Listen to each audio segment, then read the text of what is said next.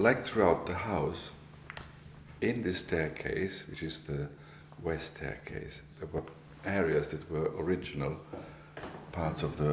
uh, wall,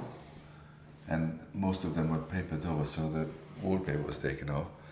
And then the problem arose how to, again, make a unified finish, bringing in the old parts into the new one, and that was also again picking out all the colors that were in the old um, plaster and applying one after the other on top of each other and distressing them so that there is quite a lot of movement and by this movement you then um, get this very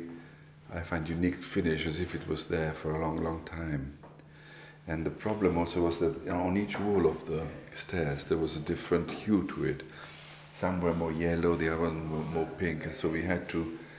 again bring every color that was in the staircase and bring it all together in the different washes that we did. The lime was quite thick, as you can see, to give it a bit of texture and also to cover up all the dark spot and all the dirty marks that were on the wall.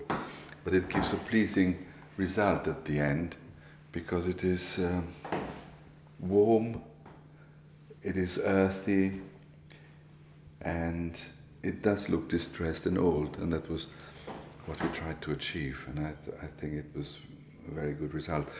The, the difficulty was the dado, to find the color for the dado, and we tried several, we had several goes, because it, we painted it in winter, in January, where the light goes off at three o'clock, and it was raining, and it was dark, and whatever color we put on,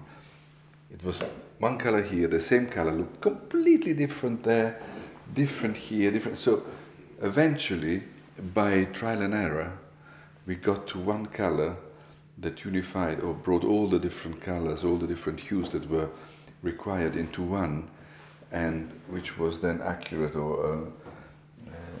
agreeable to everybody. And uh, it, it wasn't an evident job. It was a very complicated time of, uh, of mixing color because each single color that you see in this house was not out of a pot it was mixed by myself, by moi. And it took, I mean, you, you must ask other people. I mean, I was, I was like a cook on behind his hearth and mixing colors and trying them on and drying them with a, with a hair dryer and then a patch here and a patch there. And they were so, because each room had at least six, seven, eight, sometimes 10, 12 coats or more. So each color had to be mixed and each color had to be saved and each color had to be expanded and reduced and it was a massive job of matching and mixing colors. And um, most, I would say almost most of my time was spent trying out the, the finishes and then mixing the colors to achieve it.